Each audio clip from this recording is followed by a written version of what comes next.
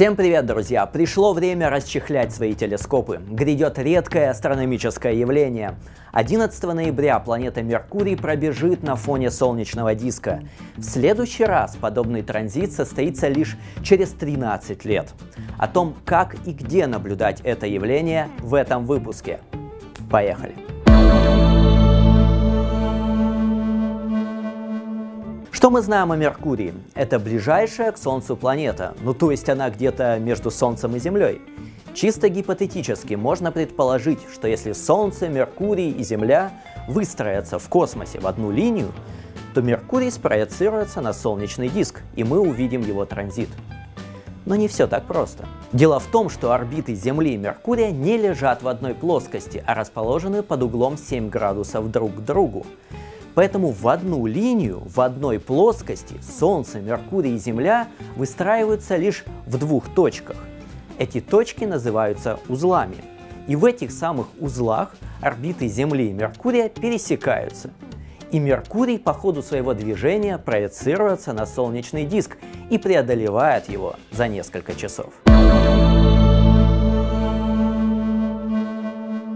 Вот сейчас, в ходе подготовки к своим роликам, я все больше замечаю, что самая лучшая, интересная, важная информация содержится исключительно на английском языке. А я из тех людей, у кого в школе был немецкий. Напишите в комментах, кто также пострадал, как и я. Ну да ладно, на самом-то деле сейчас я английский знаю лучше, чем немецкий, да и Google переводчик, как говорится, всем в помощь. Но очень не хватает практики. Да и вообще я бы хотел побывать на зарубежных обсерваториях, пообщаться с крутыми иностранными любителями астрономии, запилить об этом видеоролики и выложить у себя на канале. И поэтому я решил, что надо подтягивать уровень разговорного английского языка.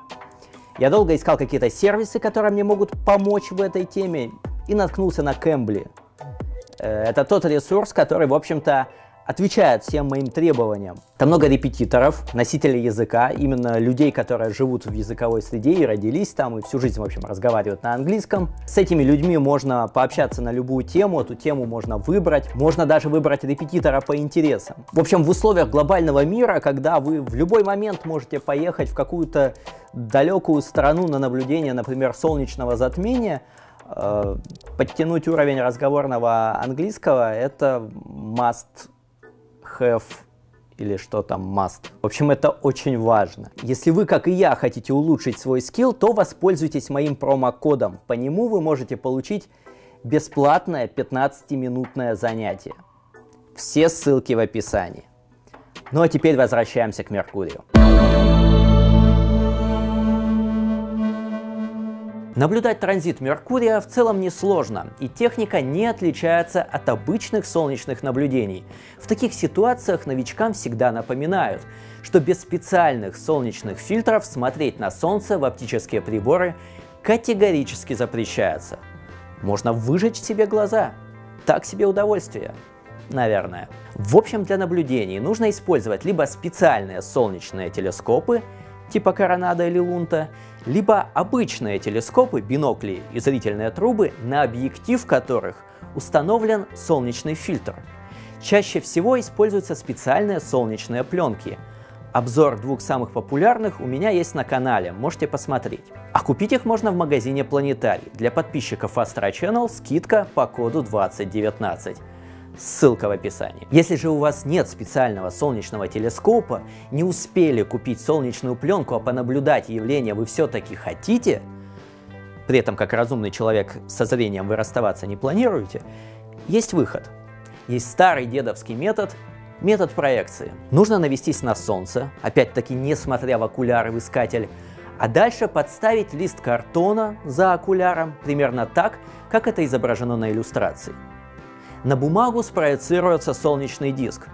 Дальше вам нужно будет сфокусироваться, и вполне можно наблюдать, как черная точка Меркурия будет перемещаться по спроецированному на лист бумаги Солнцу. По солнечному экрану довольно удобно делать зарисовки, отмечать положение планеты в разное время. Нечто подобное я, например, делал 7 мая 2003 года, когда я впервые увидел это явление. Всего же я видел два транзита. Второй случился 9 мая 2016 года. Вообще, интересно, что прохождение Меркурия по диску Солнца наблюдается только в мае и ноябре. Причем ноябрьские прохождения случаются чуть ли не вдвое чаще. Но по иронии судьбы, в ноябре, например, на европейской территории России, ясная погода бывает очень редко. Из-за облаков я, например, пропустил транзит 8 ноября 2006 года. Ну и ближайшее прохождение тоже состоится в ноябре, 11 числа. Давайте разберемся, где его лучше наблюдать.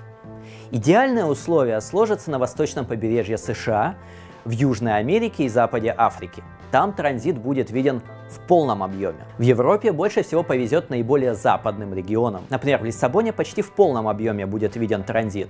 Чем восточнее мы находимся, тем ниже будет Солнце на момент начала явления и тем быстрее оно зайдет за горизонт. Нетрудно догадаться, что в России лучше всего условия в Калининграде. Везде явление начнется в 15.35 по московскому времени, а вот окончание будет зависеть от того, когда случится у вас заход Солнца. Например, в Калининграде Солнце зайдет в 17.43, а в Москве в 16.30. На Урале и в Сибири, увы, Солнце зайдет еще до того момента, когда Меркурий взойдет на солнечный диск. В описании к этому видео я оставлю ссылку на интерактивную карту явления, и там вы сможете посмотреть условия для своего населенного пункта. Так как Солнце в большинстве регионов будет находиться невысоко над горизонтом, внимательно относитесь к выбору наблюдательной точки. Юго-запад и запад должен быть открыт идеально. Кстати, в этой интерактивной карте показан средний процент облачности для населенных пунктов на эту дату. И судя по этим показателям, лучшие условия сложатся где-то на Северном Кавказе. В общем, на юге. В общем, неудивительно. Если есть возможность, съездите туда, ведь следующий транзит Меркурия состоится лишь в 2032 году, и тоже в ноябре, 13 ноября, а затем 7 ноября 2039. Ближайший майский транзит состоится лишь в 2049 году. Я сделаю все возможное от себя зависящее, чтобы на моем канале состоялась трансляция этого явления. Поэтому обязательно подписывайтесь на Astro Channel. Но, как понимаете, не все зависит от меня. Я буду держать вас в курсе. А на сегодня у меня все. Ставьте лайки, пишите комментарии, делитесь этим видео со своими друзьями. Ясного неба и успешных наблюдений. Пока!